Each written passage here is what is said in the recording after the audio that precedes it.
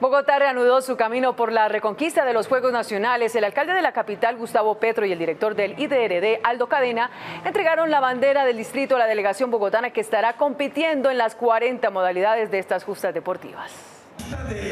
En la última participación de Juegos Nacionales en su carrera, el atleta Paulo Villar y en la primera de Angélica Bernal en las justas paranacionales portarán la bandera del distrito.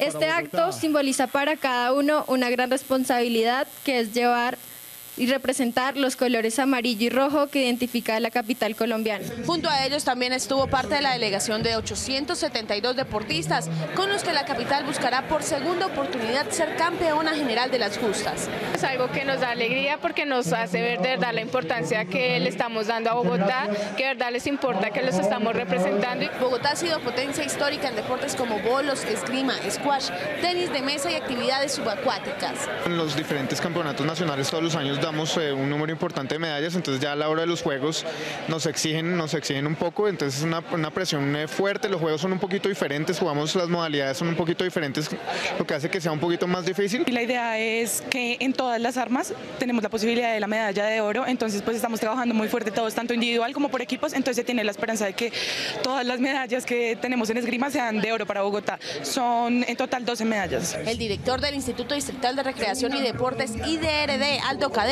Aseguró que los dos deportes en los que Bogotá será subsede, ecuestre y squash, ya tienen la logística y escenarios preparados.